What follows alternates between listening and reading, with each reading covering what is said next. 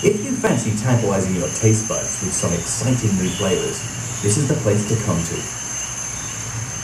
It's the rainforest of central Gabon, and it's home to a whole new world of flavors that may one day end up on your dinner table.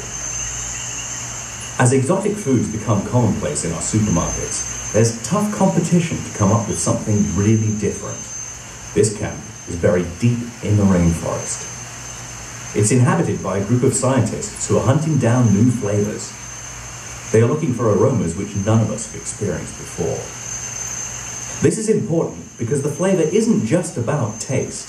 The smell or aroma is vital too and can make the critical difference in the appreciation of food. Bob Ellerman and Dave Josephin are scientists who work for an American flavor house. The aromas they create are used in soft drinks and fast foods. They're masters of blending different flavors together to make a whole variety of tastes. Their aim is to recreate tastes that already exist in nature and to discover brand new flavors. And their search is taking them to places never explored before.